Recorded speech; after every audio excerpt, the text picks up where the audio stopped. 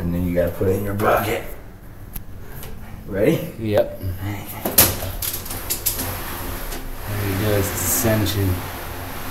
Alright, you're in the dark, man. I can't see shit. Yeah. Look at you go, man. It's weird how I can see you so clearly, but I'm looking at the camera and it's black.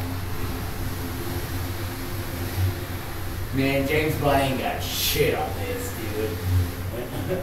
I you shit, no problem. No problem.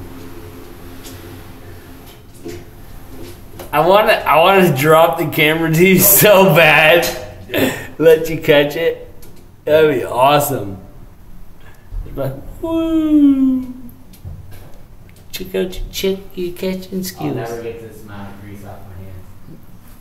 Never. This is what we're riding on right here up.